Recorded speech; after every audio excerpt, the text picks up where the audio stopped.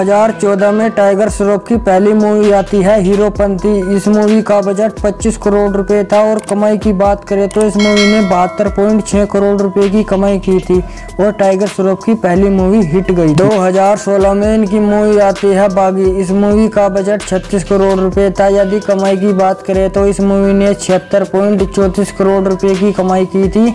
ये movie box office पर hit गई साल इनकी मूवी आती है ए फ्लाइंग दी जट इस मूवी का बजट 35 करोड़ रुपए था। यदि कमाई की बात करें तो इस मूवी ने 38 करोड़ रुपए की कमाई की थी और टाइगर श्रॉफ की ये मूवी बिलो एवरेज रही। 2017 में इनकी मूवी आती है मुन्ना माइकल। इस मूवी का बजट इकतालीस करोड़ रुपए था। यदि कमाई की बात करें तो इस मूवी ने बत्तीस करोड़ रुपए की कमाई की थी।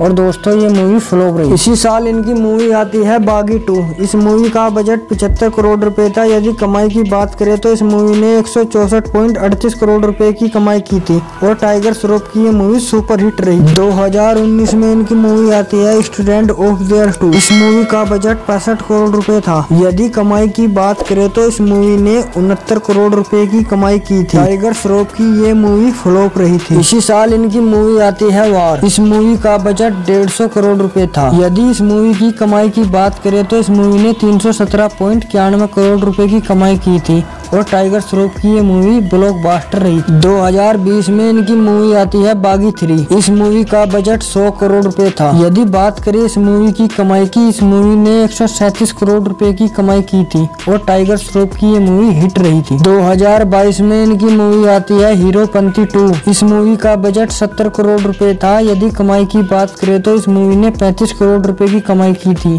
और दोस्तों टाइगर श्रॉफ की ये मूवी फ्लॉप रही थी। 2023 में इनकी मूवी आने वाली है गणपत चैप्टर वन ये मूवी 20 अक्टूबर को सिनेमा घर में रिलीज़ होगी। यदि हमारी वीडियो आपको अच्छी लगती है तो लाइक और सब्सक्राइब और कमेंट करें और कमेंट बॉक्स में ये बताएँ अगली वीडियो कौन से टॉपिक पर बना